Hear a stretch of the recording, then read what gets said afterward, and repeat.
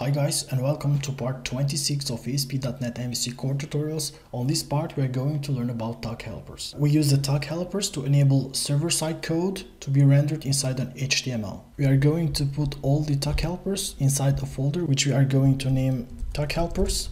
So let us create our first tag helper and first tag helper is going to be an email tag helper. After we create the class we need to inherit from the base class which is the tag helper class we import the necessary namespace. So we are going to use this tag helper to show us a link.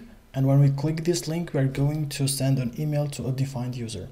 So for that, we need an address, which we are going to store in a public string property, and we are going to name it address. This is the address that we are going to use to send the email. And the second property that we are going to use is going to be of string type as well.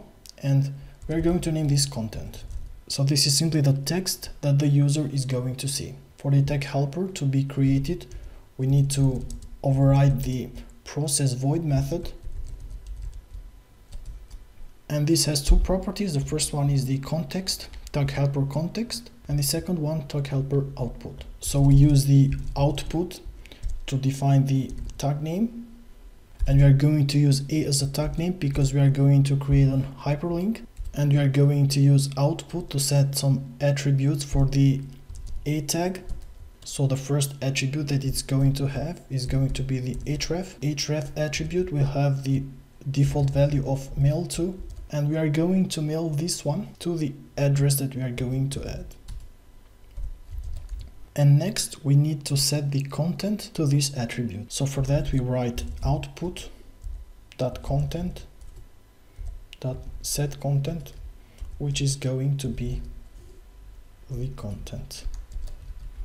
Let's save the changes but before we continue further let us include this in our view imports file. So for that we go to view imports.c sharp html file. And inside this file we add a new line which is add tag helper. So this means that all the tag helpers inside the namespace defined should be known by our view the second one points to the assembly which contains tag helpers. Before we continue further, let us first build the project. We are going to use this property on our contact page. So let's go to the controllers folder and inside this folder we add a new controller.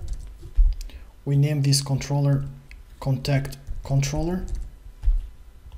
So here we simply change the iAction result to view result because we are going to use this method to return a view Next, we need to go to the views folder and inside the views folder, we create a new folder which needs to have the same name as our controller. So contact controller and inside this folder, we create a new view and we leave the name by default index.c.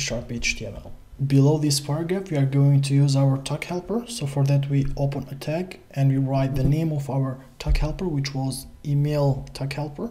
So I write email and we close the tag helper here we see that I get two properties which I need to fill in and these properties come from our tag helper, the address and the content. So the properties are address and the address is going to be .NET how at outlook.com and the next property is going to be email us. Let us run the application. So here we see our tag helper. You will see the name that we defined inside our code email us and the next property .NET how outlook at outlook.com you see it at the bottom mail to .NET how at outlook.com this is all for this part. Thank you for watching and see you on the next one